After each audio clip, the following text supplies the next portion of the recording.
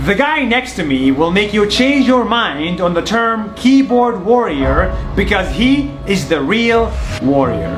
Fine. That is fine. When he was 18, his entire muscle system collapsed and he could no longer move. And for the next 19 years, he's been bedridden in his home in Sri Lanka. But this is not a sad story, it's an inspiring one. Despite having strength only in one finger, he taught himself to read and write English.